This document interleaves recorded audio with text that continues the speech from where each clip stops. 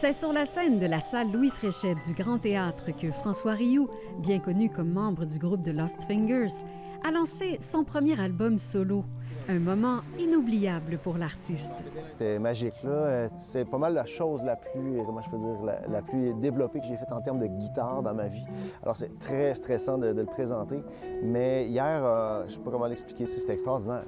Le titre de l'album, Sens unique, fait référence à une technique de jeu privilégiée par l'artiste durant la préparation de sa thèse de doctorat, qui l'a mené à décrocher un poste de professeur à l'Université Laval.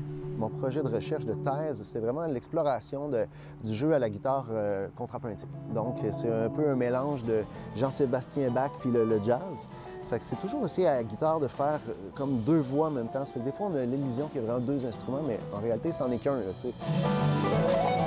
François Rioux a décidé d'approfondir les possibilités du contrepoint à la guitare après avoir assisté à un spectacle du guitariste de jazz israélien de renom, Gilad Exelman. En fait, en 2013, je me souviens d'avoir été le voir, puis il avait commencé à faire ce genre de choses-là, commencé à travailler ce genre de choses-là. J'ai dit, mon Dieu, c'est quoi ça? Qu'est-ce qu'il fait là? Puis là, on est allé avec des amis guitaristes, tout ça, puis je me suis dit, c'est ça que je veux faire.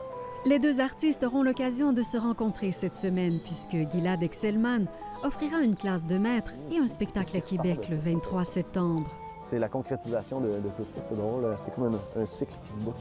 En plus de ses engagements avec la formation de Lost Fingers, François Rioux a d'autres projets de spectacle pour faire rayonner son projet solo avec son quartet.